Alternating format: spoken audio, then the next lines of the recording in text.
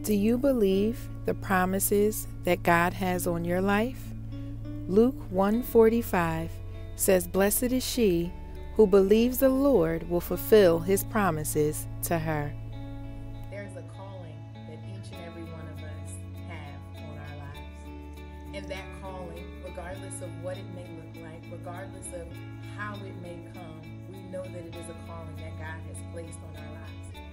So I am so excited to see what that calling is, not only in my life, but in your life as well. So many times we as women will put so many things on the back burner, mainly ourselves to provide for our children or for our families or to build our profession or to get what it is that we feel as though we need to get out of life.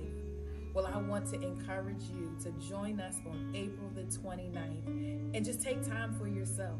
Take time with God and allow Him to are so excited for this experience and we look forward to seeing you there.